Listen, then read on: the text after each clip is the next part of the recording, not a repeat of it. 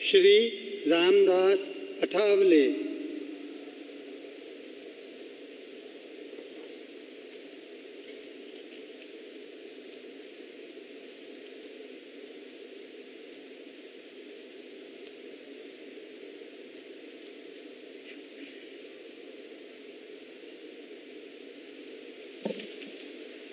मैं मैं रामदास अठौले सत्य निष्ठा से प्रतिज्ञा करता हूँ कि मैं विधि द्वारा स्थापित भारत के संविधान के प्रति सच्ची श्रद्धा और निष्ठा रखूँगा।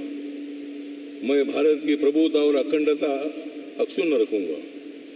मैं संघ के राज्य मंत्री के रूप में अपने कर्तव्यों का श्रद्धापूर्वक और शुद्ध अंतकरण से निर्वहन करूँगा।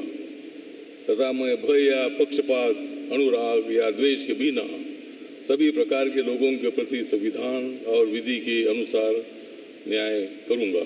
मैं मैं रामदास अठौले सत्यनिष्ठा से प्रतिज्ञा करता हूँ कि जो विषय संघ के राज्य मंत्री के रूप में मेरे विचार के लिए लाया जाएगा अथवा मुझे ज्ञात होगा, उसे किसी व्यक्ति या व्यक्तियों को तब के सिवाय जबकि ऐसे राज्य मंत्री के रूप में अपने कर्तव्यों के सम्यक निर्वहन के लिए ऐसा करना अपेक्षित हो, मैं प्रत्यक्ष अथवा अप्रत्यक्ष रूप से संसुचित या प्रकट नहीं करूँगा।